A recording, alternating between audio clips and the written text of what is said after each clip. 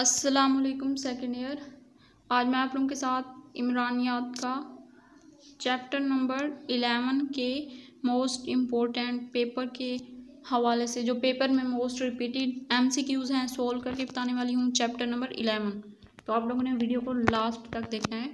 सनफी तनासब की बुनियाद है औरतें. नकल मकानी की वजह है, तालीम, सहूलतें, रोज़गार, ये तमाम ये तमाम. पाकिस्तान में आखिरी मरदमशुमारी हुई उन्नीस सौ अठानवे में। ये क्योंकि 2019 का पेपर है तो आखिरी मरदमशुमारी तो अभी 2023 में भी हो रही है।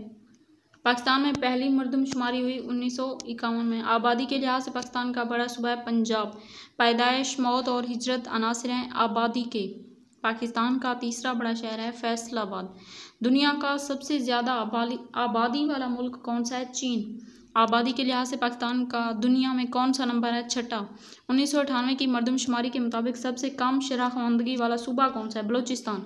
रकबा के लिहाज से पाकिस्तान का सबसे बड़ा सूबा बलोचिस्तान। उन्नीस सौ अठानवे की मरदमशुमारी के मुताबिक शहरों में कितने फ़ीसद आबादी रहती है? बत्तीस फ़ीसद। उन्नीस सौ अठानवे की मरदमशुमारी के मुताबिक देहातों में कितने फ़ीसद आबादी रहती है? अड़सठ फ़ीसद। अब तक पाकिस्तान में कितनी मरदमशुमारियाँ हो चुकी हैं? छः। यानी कि 2019 तक छः हो चुकी थी उसके बाद भी, अब 2023 में भी हो रही है। आबादी की शरह को कितने अवामिल मुतासर करते हैं? तीन। आबादी के लिहाज से दुनिया का दूसरा मुल्क, दूसरा बड़ा मुल्क कौन सा है? भारत। अकवा मुतहदा की रिपोर्ट के मुताबिक 2015 में दुनिया की कुल आबादी थी सात हज़ार तीन सौ उनचास मिलियन बलदयाती आबादी में अजाफे की बड़ी वजह क्या है?